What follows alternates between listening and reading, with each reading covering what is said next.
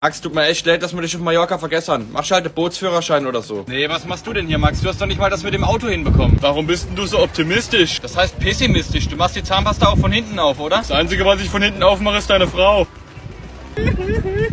Rudi, komm, es tut mir leid, ich meinte das nicht so. Das war echt gemein. Egal, komm, gib Gas. Okay, let's go.